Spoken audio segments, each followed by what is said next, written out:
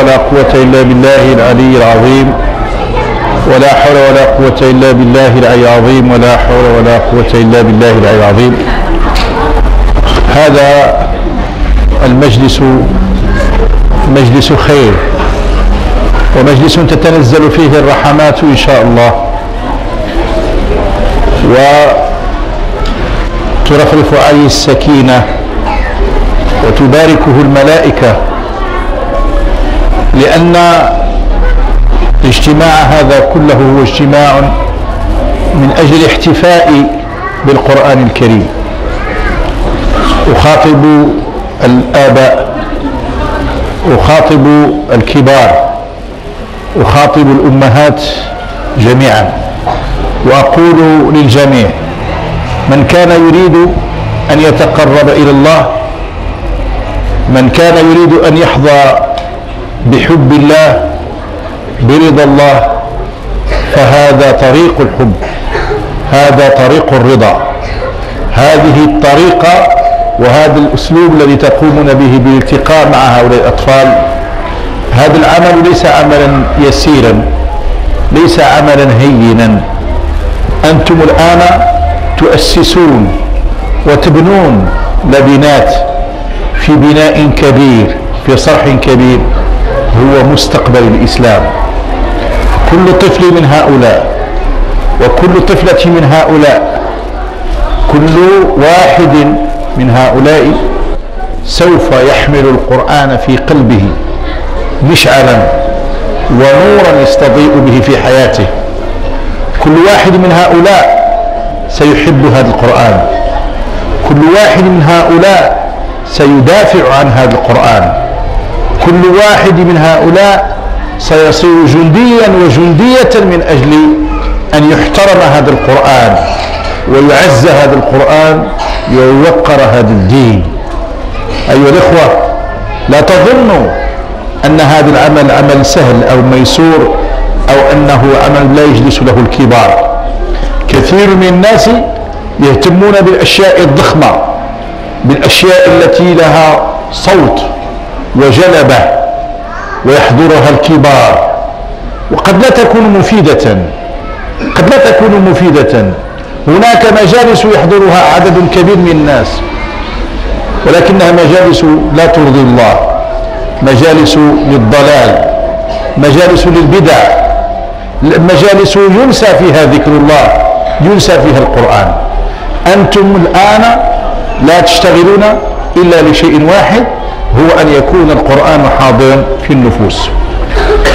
هؤلاء الذين تجلسون معهم الأطفال وتشجعونهم وتدفعون بهم إلى الأمام سيكون منهم غدا رجال الإسلام ونساء الإسلام. سيكون منهم العلماء سيكون منهم المثقفون سيكون منهم موظفون سيكون منهم أشخاص وأشخاص وتجار وكل واحد سيكون القرآن بالنسبة إليه مشكاة في قلبه. سيحب القرآن ويتعلق به. ولذلك قلت إن هذه الطريقة إن هذا الأسلوب سيكون إن شاء الله من أكثر الطرق تقريبا إلى محبة الله. أنتم الآن على هذا الكنز تحافظون على القرآن تحافظون وتنظرون إلى المستقبل وتؤسسون المستقبل. في هذه السنة في هذه السنة وصلنا إلى مجموعة كبيرة من الأطفال الذين حفظوا ختموا القرآن كاملا من خلال هذه الدورات الصيفية. هناك أطفال تهيأت لهم هذه الفرص فحفظوا القرآن من خلال دورات متعددة. هناك أطفال أعمارهم 11 سنة جمعوا القرآن كاملا. بتتابع الدورات. فلما جمعوا القرآن كاملا في هذا الصيف؟ معنى أنهم ربحوا الصيف. لم يضع منهم الصيف. ولم يذهبوا إلى أماكن التعري ولا إلى أماكن المعصية بل ضلوا في بيوت الله. سيكونون أيضا دارسين. القرآن سيقوي ذاكرتهم ويقوي مواهبهم ويقوي عقولهم. فنحن بهذا القرآن نساعدهم الآن يا إخوة نطمح إن شاء الله في المستقبل أن يكون عندنا الطبيب الذي يحفظ القرآن والمهندس الذي يحفظ القرآن والأستاذ الذي يحفظ القرآن والموظف العادي الذي يحفظ القرآن والتاجر الذي يحفظ القرآن ولكن نحن الآن قد أعنا هؤلاء سهلنا له الطريق وبالتأكيد في السنوات المقبلة سيستمر هؤلاء وستكون هذه الجهة إن شاء الله هذه الجهة ستكون جهة مأهولة بأهل القرآن. وربما أيها الإخوة في السنوات المقبلة سوف نجلس ويجلس الناس في هذه الحلق. إذا نحن غادرنا هذه الحياة إذا نحن غادرنا هذه الحياة لن نخلف وراءنا الفراغ.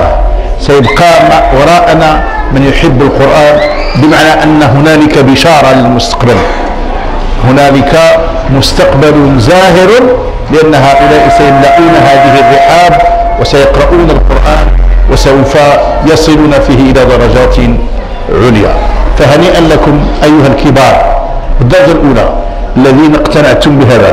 هنيئا للذين دفعوا بأبنائهم إلى هذا إلى هذا هنيئا لكم جميعا لأنكم حفظتم لأبنائكم العقيدة. هنيئا لكم لأنكم ستجدون جوابا أمام الله لتقولوا لله يوم يسألكم بأننا فعلنا بعض ما يجب علينا ودفعنا أبناءنا للقرآن وقربنا أبناءنا القرآن هؤلاء الذين جاءوا بأبنائهم القرآن ليسوا كالذين دفعوا بأبنائهم إلى الشواطئ. ليسوا كالذين دفعوا أبنائهم إلى رحاب جهنم وألقوا بهم من أجل المتعة. أنتم قمتم بالواجب وهذا جواب ستجدونه إن شاء الله ينفعكم أمام الله حينما تجيبون بأنكم قربتم أبناءكم القرآن وقربتموهم للإيمان وقربتموهم للإسلام. إذا فهذه كما قلت تهنئة وبشارة في آه، مدينتنا هذه. وفي هذا النشاط الذي الحمد لله أصبح نشاطا في كل المساجد أو معظم المساجد. معظم المساجد التي توجد فيها الرجال هذا معنى اللجنة في المسجد هذا هو معنى اللجنة. اللجنة اللي تشتغل على الأبناء. اللي تشتغل في العلم ماشي اللي دير الدباز. تقلع إمام وترد إمام ماشي هذيك اللجنة معنا ما نديرو ديك اللجنة إحنا اللجنة اللي تقوم بهذا العمل. الآن في هذا الصيف وصلنا بحمد الله إلى أن الذين اشتغلوا مع القرآن من الأطفال بلغ عددهم 22200 تلميذ وطفل. كلهم اشتغلوا بحفظ القرآن. 22000 طفل و200 200 طفل في هذه الجهة في الجهة الشرقية هذا شيء مبشر. وإن شاء الله السنوات المقبلة إن شاء الله سيكون العدد أوفر. نرجو إن شاء الله أن جميع أبنائنا يكونوا حفظوا جزء من القرآن يكونوا تعلموا احترام المصحف تعلموا احترام كلام الله. وهؤلاء الذين يتحدثون معنا من وراء من بعيد هناك من يكتبوا وهناك من يسب الدين وهناك من يتطاول على مقدسات المسلمين هذا هو الرد عليه. لن نجيب هؤلاء إلا بهذا العمل. الذين يسخرون من الشريعة الإسلامية ويسخرون من الدين ويتمنون أن يزول الدين. الذين يبشرون الناس بذهاب الدين الذين يشجعون الفاحشة والفسق ويمهدون لها لا يمكن أن يجابوا إلا بمثل هذا العمل. بمعنى أن الأمة إن شاء الله ستبقى مع الإسلام. وستستمر مع الإسلام. أقول هذا القول وأستغفر الله لي ولكم وأسأل الله الإخوة القائمين على هذا العمل. أسأل الله لهم أن يقبل هذا العمل منهم. هذا العمل ليس عملا كبير سهلا أيها الإخوة.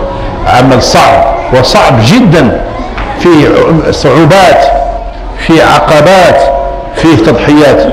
ولكن لجنة هذا المسجد والإخوان القائمون في هذا المسجد. جزاهم الله خيرا. أعطوا الدليل على أنهم يعطون كل سنة هذا العدد من الأطفال وأنهم الحمد لله مقبلون وأنتم معهم تتعاونون فالحمد لله ليس هناك شيء يسر ويفرح المؤمن أكثر من هذا المنظر. ليس هناك شيء يسر أكثر من هذا المنظر وإذا كانت المساجد موجودة وكانت مفتوحة فلمثل هذا تفتح المساجد وهذه نعمة كبيرة نشكر الله عليها. سبحان ربك رب العزة عما يصفون. وسلام على المرسلين والحمد لله رب العالمين.